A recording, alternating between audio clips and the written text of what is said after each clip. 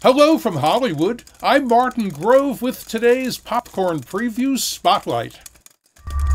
My films are always personal.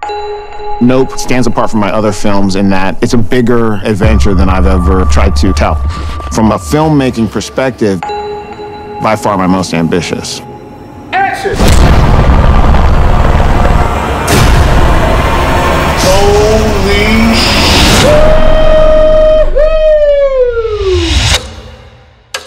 What's a bad miracle? They got a word for that.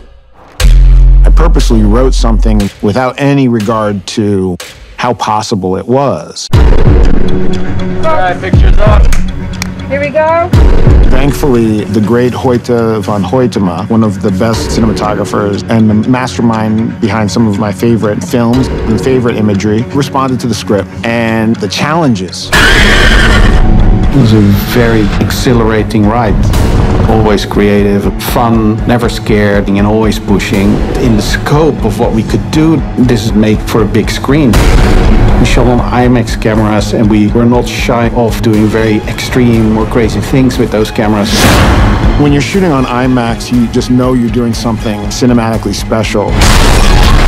The image is so overwhelming, it feels like you're there.